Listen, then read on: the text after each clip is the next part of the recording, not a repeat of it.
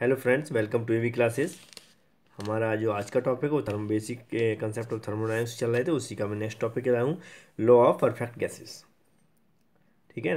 अगर इससे पहले आपने हमारे थर्मोडाइनमिक्स की वीडियो नहीं देखे तो हमारी प्ले लिस्ट में जाके आप देख सकते हैं प्ले लिस्ट में कैसे जाते हैं, हमारे होम पेज पे जाएँगे। तो उसमें वीडियो और फिर इसके बाद प्ले लिस्ट होगी तो प्ले लिस्ट पर क्लिक करेंगे तो सारे सब्जेक्टों की प्ले लिस्ट खुल जाएगी। तो आप थर्मोडाइनमिक्स थर्मोडाइनमिक्स पर जाकर चेक कर सकते हैं। तो मैं स्टार्ट करता हूँ आज का topic law of perfect gases क्या होता है? The physical properties of a gas are control by the three के वेरिएबल्स जो थ्री वेरिएबल्स होते हैं, उसके अकॉर्डिंग जो फ़िज़िकल प्रॉपर्टी होती है किसी गैस की, वो कंट्रोल होती है। कौन से कौन से कौन से होते हैं? प्रेशर होता है वॉल्यूम होता है टेम्परेचर होता है। The behaviour of a perfect gas जो परफेक्ट गैस का गैस का बिहेवियर है, या व्यवहार है under going any change in the above mentioned variables मतलब जो जो तीन वेरिएबल्स हमारे pressure volume temperature is govern by the following law. मतलब तीनों क्या करते हैं, जो गैस के लॉ को फॉलो करते हैं which have been established from experimental result जो एक्सपेरिमेंटल रिज़ल्ट है, उसके थ्रू ये रूल को बनाया गया है, लॉ को बनाया गया। तो फ़र्स्ट लॉ कौन सा है? इसमें मैं कौन कौन से लॉ बताने वाला हूँ, बता देता हूँ। वॉल्स लॉ बताने वाला हूँ चार्ल्स लॉ बताने वाला हूँ गे लूसेक लॉ बताने वाला हूँ, और जूल्स लॉ बताने वाला हूँ। तो आप वीडियो को पूरा देखें, जिससे कि आपका पूरा कवर कर सकें और सारे टॉपिक क्लियर हो जाए। स्टार्ट करते हैं। वॉइस लो क्या होता? है it is given by the Robert Boyle जो रॉबर्ट बॉयल थे, उन्होंने इसको डिस्कवर किया था इन 1662 सोलह सौ बासठ में। इट स्टेट उसके उनके अकॉर्डिंग उन्होंने बोला the absolute pressure of a given mass of a perfect gas varies inversely as its volume when the temperature remains constant मतलब जो टेम्परेचर कॉन्स्टेंट हो मतलब वॉल्स ने वॉल्स लॉ के अकॉर्डिंग जब टेम्परेचर कांस्टेंट हो किसी सिस्टम का तो जो प्रेशर होता है, वो इन्वर्सली प्रोपोर्शनल मतलब व्युत्क्रमण अनुपाती वॉल्यूम के होता है।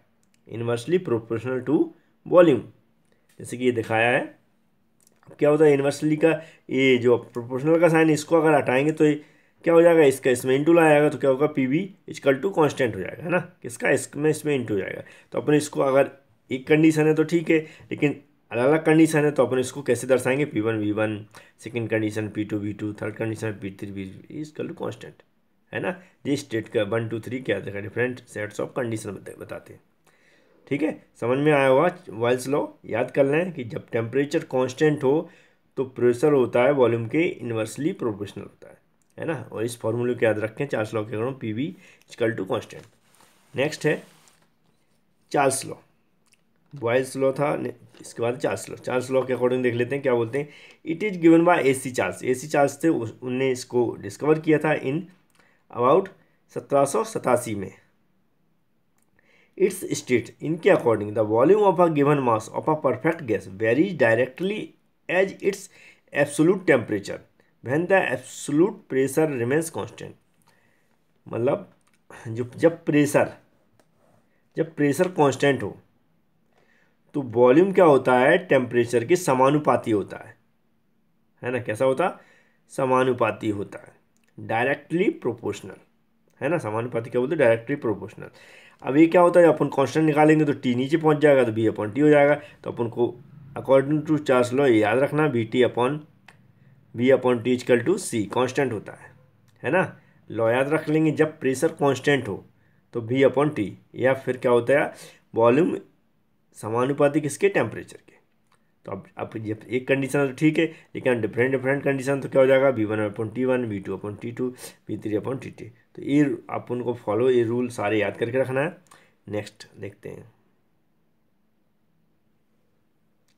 नेक्स्ट बताते हैं Gay Lussac law This law states the absolute pressure of a given mass of a perfect gas varies directly as its absolute temperature when the volume remains constant मतलब Gay USAC law ने जो discover किया था rule या experimental process उसने क्या पाया था कि जब वॉल्यूम कांस्टेंट हो, जब वॉल्यूम कांस्टेंट हो, जो प्रेशर है, वो डायरेक्टली प्रोपोर्शनल टू टेम्परेचर किसके टेम्परेचर के? डायरेक्ट प्रोपोर्शनल होता है जब वॉल्यूम कांस्टेंट हो, है ना? इसको याद रखें, जब वॉल्यूम कांस्टेंट होगी गे ल्यूसेक लॉ के अकॉर्डिंग। ठीक है? तो पी ऊपर टी नीचे पहुँच जाएगा इजकल टू कांस्टेंट हो जाएगा ना? तो क्या हो जाएगा? पी वाई टी कॉन्स्टेंट मतलब इसको याद रखना अपने गी लॉ कि, जब वॉल्यूम कॉन्स्टेंट हो तो पी वाई टी होता है। ठीक है? अब ये वन कंडीशन के लिए डिफरेंट डिफरेंट कंडीशन निकालना तो P one upon T one P two upon T two P three बटे टी टी इक्वल टू क्या हो जाएगा? कॉन्स्टेंट ठीक है? नेक्स्ट है जूल्स लॉ जूल्स लॉ के अकॉर्डिंग क्या है? It states the change of internal energy of a perfect gas किसी भी परफेक्ट गैस की जो इंटरनल एनर्जी है, वो चेंज है चेंज होती है। तो is directly proportional to the change of temperature वो किसके? डायरेक्ट प्रोपोर्शनल होती है change of change of temperature के। अगर किसी सिस्टम की इंटरनल एनर्जी चेंज होती है तो वो direct proportional to change of temperature ऐसे ये दिख रहा है डी डी मतलब क्या? Change of internal energy direct proportional to change change of temperature change in temperature है ना? डी टी मतलब चेंज और चेंज इन इंटरनल एनर्जी तो इसको अपन एक्सप्लेन करेंगे तो एम सी एम सी क्या आ गया? ये कॉन्स्टेंट शो करा रहा है M C D T equal to M C constant equal to क्या हो डी टी ठीक है? डी टी को अपन कैसे लिख सकते हैं? T two minus T one क्योंकि चेंज चेंज मतलब होता है एक स्टेट से दूसरे स्टेट पे जा रहा है। एक पॉइंट से दूसरे पॉइंट पे जा रहा है। T two minus T one इस तरह एम क्या मास ऑफ़ द गैस होता है? सी क्या है? Constant of proportionality known as specific heat ठीक है सी को क्या बोलते हैं? स्पेसिफिक हीट फ्रेंड समझ में आया होगा ये? नेक्स्ट है। फ्रेंड्स ये थी आज की लॉ नेक्स्ट लॉ ये एवोगेड्रोस लॉ क्या है? It state equal volume of all gases at the same temperature and pressure contain equal number of molecules है ना?